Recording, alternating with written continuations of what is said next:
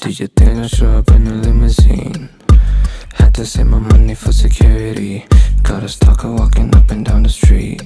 Says it's Satan, and he liked to meet. I bought a secret house when I was 17.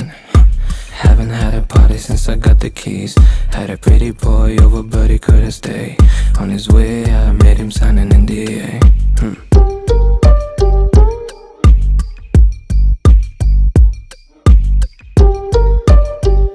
I made him sign an NDA. Was was good enough. Cause I don't want him having shit to say.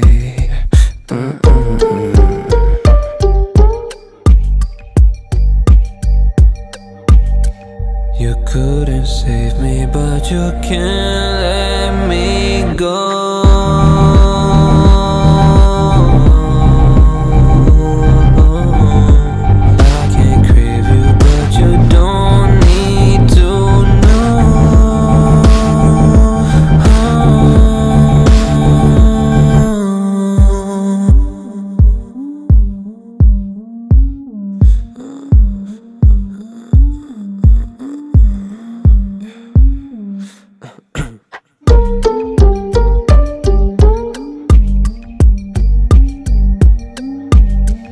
You couldn't save me, but you can't let me go.